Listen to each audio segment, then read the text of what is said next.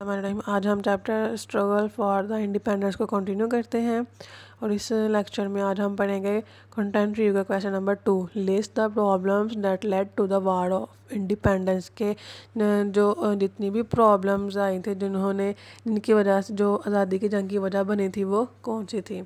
इसका आंसर है taxes impose by the British were very heavy मतलब कि ब्रिटिश लोगों ने जितने भी टैक्सेस लगाए थे, उन, वो बहुत ज़्यादा थे। मतलब कि मुसलमानों के लिए तो वो टैक्सेस और हिंदुओं के लिए वो टैक्सेस बहुत ज़्यादा थे, जो कि वो आसानी से पे नहीं कर सकते थे। जिसकी वजह से उन्होंने सोचा कि अब हमें भी अपना जो अलग मुल्क है, जिसमें सिर्फ़ हमारी हुकूमत हो, वो हमें हासिल करना चाहिए। नेक्स्ट है were becoming widespread due to the wrong policies poverty मतलब कि जो गुर्बत थी, वो बहुत ज़्यादा बढ़ती जा रही थी क्योंकि उनकी जो पॉलिसीज़ थी ब्रिटिश की, वो अनजस्ट अनफेयर्ड थी। मतलब कि वो मुनसफाना नहीं थी। वो मुसलमानों के साथ जो थी, वो अच्छा बिहेव नहीं करते थे, जिसकी वजह से मुसलमान जो थे, वो गुर्बत की तरफ़ जा रहे थे, जो कि आज़ादी की जंग की एक वजह बने थे। नेक्स्ट है good jobs were only for English people की अच्छी जॉब जो थी जो हाईली पेड थी, जिसमें, जिसकी जो पे थी वो बहुत ज़्यादा थी, वो सिर्फ़ और सिर्फ़ ब्रिटिश लोगों की थी इंग्लिश पीपल मतलब ब्रिटिश लोग, वो सिर्फ़ ब्रिटिश लोगों के लिए थी।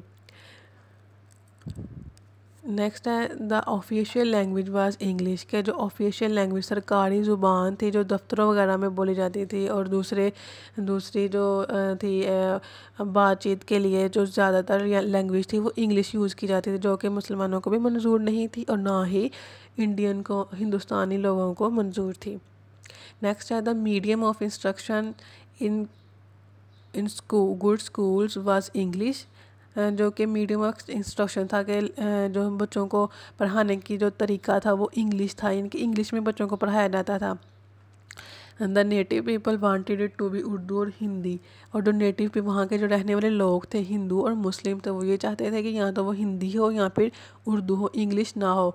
लेकिन वहाँ पे वो ब्रिटिश की हुक्मरानी थी और उनकी लैंग्वेज थी वो इंग्लिश थी. इसलिए उन्होंने स्कूल्स में जो इंस्ट्रक्शन वे ऑफ़ इंस्ट्रक्शन था मीडियम ऑफ़ इंस्ट्रक्शन था, वो बच्चों को पढ़ाने का जो तरीका था, वो इंग्लिश लैंग्वेज रखा हुआ था, जो कि मुसलमान और हिंदू नहीं चाहते थे. वो चाहते थे कि यहाँ तो उर्दू हो यहाँ पर हिंदी हो, जो कि हमें भी ईज़िली समझ आ सके.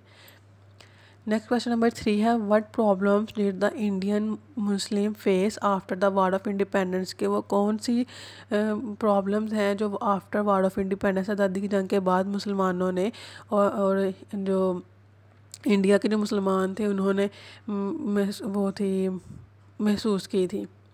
और इसका आंसर है फ़र्स्ट जो प्रॉब्लम थी वो ये थी cow and pig fat was used in new guns which were used by the Indian and Muslim soldiers के गाय और पिग सुअर की जो चर्बी थी उसे गन्स में यूज़ किया जाता था, जो कि इंडियन सोल्जर इस्तेमाल करते थे, जो इंडियन और मुस्लिम सोल्जर्स गन्स इस्तेमाल करते थे, उन्हीं में ख़ास कर जो थी वो पिग और काओ की जो फैट थी उसे यूज़ किया जाता था, क्योंकि ये मुसलमानों के और इंडिया के जो हिंदू हैं, उनके मज़हबी अकीदे के अगेंस्ट है।